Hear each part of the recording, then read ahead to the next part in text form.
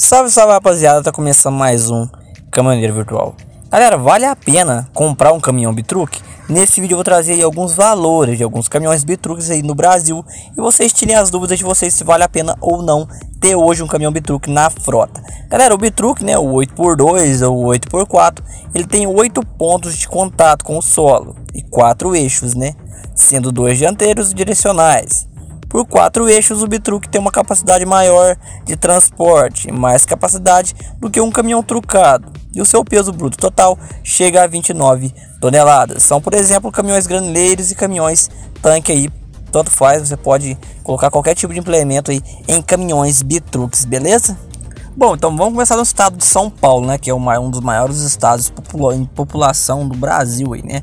Galera, um Bob Esponja 24250 do ano de 2010, com 90 mil quilômetros rodados, no baú refrigerado, está numa média de 295 mil reais. A Pezinha, também ano 2010, com 219 mil quilômetros rodados, também no baú refrigerado, está 400 mil reais reais. Agora um Ford Cargo 1722 do ano de 2011 com os 370 mil quilômetros rodados está numa média de 150 mil reais. Um Atego, galera, 3030 no baú está numa média de 485 mil reais. Galera, lembrando que todos esses caminhões que eu estou falando é caminhões Bitruck, beleza? Atego 2426, ano 2012, com 527 mil quilômetros rodados. Está numa média de 140 mil reais. Agora vamos para o meu lindo e belo estado de Minas Gerais. O Bob Esponja, galera, 24 280, também do ano de 2012, com 580 mil quilômetros rodados, está numa média de 260 mil reais. Mais um apego agora, só que esse é o 2425, um pouco mais antigo, do ano de 2010, com 390 mil quilômetros rodados, está numa média de 225 mil reais. Agora o meu queridíssimo Volvo VM 270 do ano de 2013, com 300 mil quilômetros rodados, está numa média de 310 mil reais. É um dos melhores caminhões aqui, eu acho, galera, no Bitruc. Eu sempre falei isso nos vídeos, né? É o Volvo VM. Ford Cargo 2428 do ano de 2012 com 748 mil quilômetros rodados, está numa média de 220 mil reais.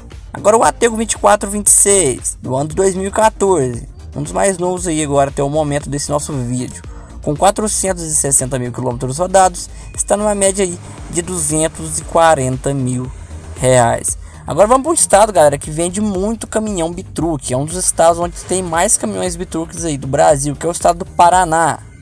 Galera, um Volvo VM do ano de 2011, 260 no baú, com 245 mil quilômetros rodados, está numa média de 230 mil reais. Mais um Volvo VM agora, galera, só que esse é do ano de 2013, né? O Volvo VM 270, com 365 mil quilômetros rodados, está numa média de 220 mil reais. Agora o primeiro desse nosso vídeo, galera, a Scania Pezinha 270, sou apaixonado por Pezinha, hein? Ano 2011, porém um pouco antiga, né? Com 745 mil quilômetros rodados. Se eu não estiver enganado, galera, essa é o caminhão mais rodado até agora nesse nosso vídeo. Ela está numa média de 315 mil reais. Porém, não deixa de ser né, um caminhão muito bom. Mais uma pezinha agora, galera. Só que essa é a mais conhecida, né? A pezinha 310 do ano de 2016, com 100 mil quilômetros rodados, está numa média de 240 mil reais. Lembrando, galera, que todos esses valores são de cada estado do Brasil. Por talvez no seu estado não seja esse valor, mas isso é relacionado a alguns dos estados né, do Brasil.